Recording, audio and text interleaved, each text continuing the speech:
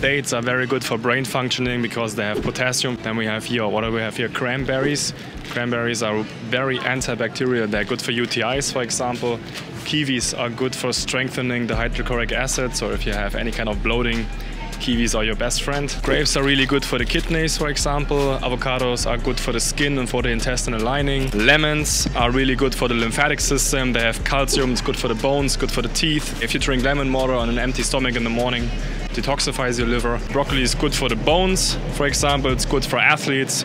Asparagus is really nice. Asparagus is amazing for the liver, has lots of silica, which is good for your connective tissue. And asparagus also has an antioxidant called glutathione, which is also really great.